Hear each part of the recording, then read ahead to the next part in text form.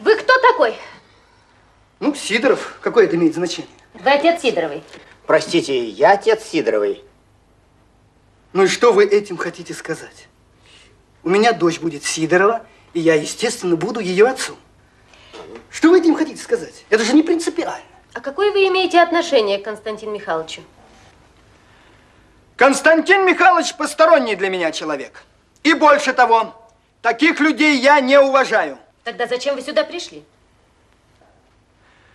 Я прежде всего гражданин, и судьба его мне не безразлична. Я прежде всего гражданин, и судьба его мне не безразлична.